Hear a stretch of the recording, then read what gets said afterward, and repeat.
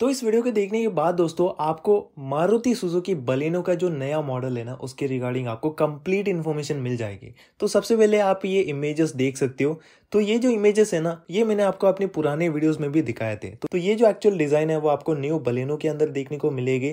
और सबसे पहले जब मैंने ये इमेजेस देखे तो मैं ज़्यादा एक्साइटेड नहीं था। बिकॉज़ मैंने सोचा कि यार ये नॉर्मल सा फेसलिफ्ट होगा। अंदर आपको वही आउटडेटेड फीचर्स और आउटडेटेड इंटीरियर ही देखने को मिलेगा।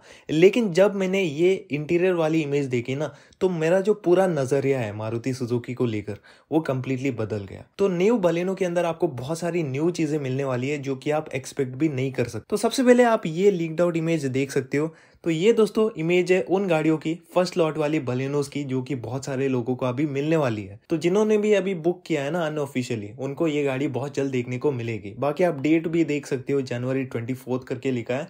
यानी कि महीने, दो महीने के अंदर आपको ये जो गाड़ी है ना, वो आपको अपने नियरेस्ट नेक्सा शोरूम के अंदर देखने को मिलेगी।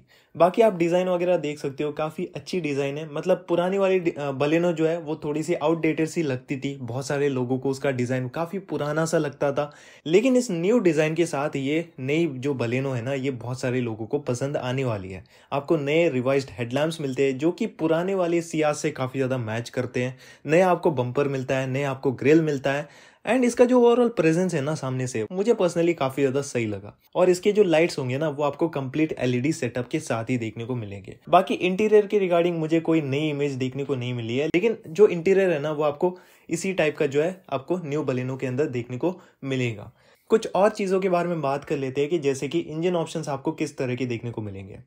अभी जो करंट बलेनो है ना, उसके अंदर आपको 1.2 लीटर वाला K twelve engine as well as K twelve C वाला जो इंजन है, वो ऑफ़र किया जा रहा है और ये सेपरेट वेरिएंट्स में आपको मिलता है।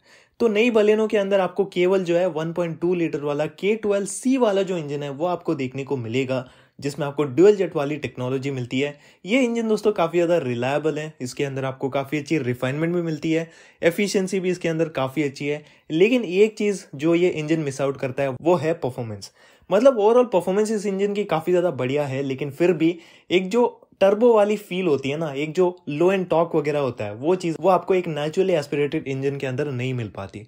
तो इस कमी को दूर करने के लिए दोस्तों, मारुति सुजुकी न्यू बलेनो के अंदर एक वन लीटर वाला टर्बो पेट्रोल इंजन भी दे सकता है। इसके काफ़ी सारी जो लीक्स है ना, वो मैंने काफ़ी सारे वेबसाइट के अंदर भी देखे थे। तो बलेनो आरएस के नाम से ये वेरियंट लॉन्च किया जाएगा मारुति सुजुकी की तरफ़ से। बाकी दोस्तों, ये कोई ऑफिशियल न्यूज़ नहीं है, ये अनऑफिशियल न्यूज़ है, जो कि मुझे कुछ वेबसाइट्स के द्वारा पता लगी है, और वही चीज़ें मैं आपको इस वीडियो के अंदर बता रहा हूँ।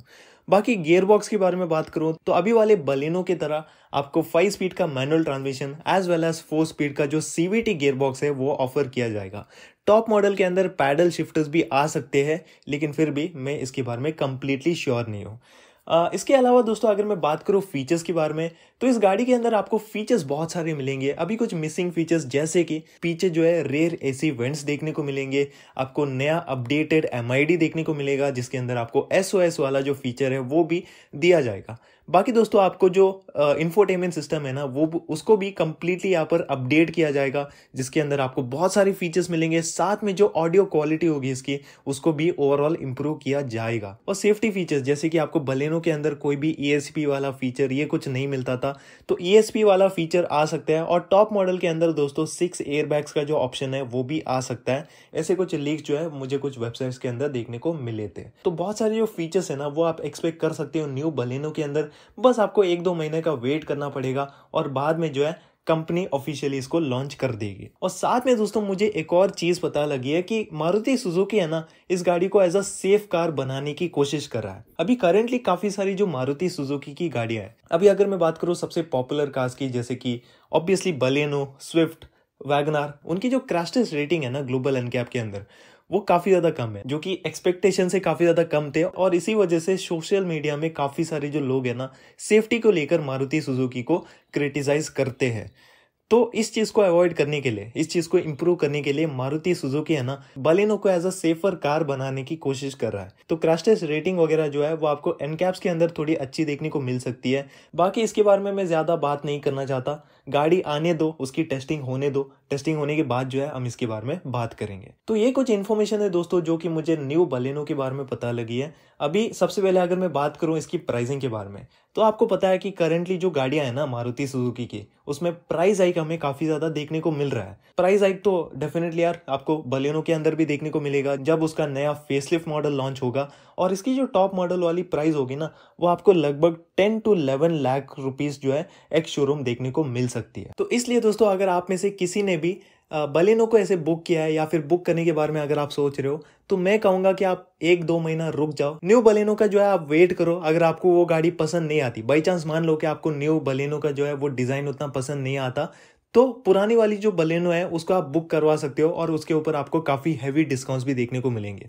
क्योंकि मार्केट में जब भी कोई नया प्रोडक्ट आता है ना तो पुरानी गाड़ी का स्टॉक क्लियर करने के लिए तो उस पर काफ़ी भारी जो डिस्काउंट्स है, वो कंपनी वाले देते हैं। तो डेफिनेटली अगर आप थोड़ा सा रुक सकते हो तो रुक जाओ न्यू बलेनो का वेट करो। बाकी फेब्रवरी एंड तक या फिर मार्च के मिड में जो है, इस गाड़ी को ऑफिशियली जो है कंपनी लॉन्च कर देगी। और मुझे कुछ ऐसी भी खबर मिली है कि काफ़ी सारे जो डीलरशिप्स है ना नेक्सा डीलरशिप्स वो अनऑफिशियल बुकिंग भी न्यू बलेनो का कर रहे हैं। तो इसका मतलब आपको बहुत जल्द ये जो गाड़ी है ना न्यू बलेनो वो आपको अपने नज़दीकी डीलरशिप्स के अंदर भी देखने को मिलेगी। तो ये था दोस्तों कंप्लीट इन्फो जो कि मैं आपको बताना चाहता था इस वीडियो के अंदर। वीडियो अगर आपको पसंद आए तो ज़रूर से इस वीडियो को लाइक करना, बिल्कुल भी मत भूलिएगा।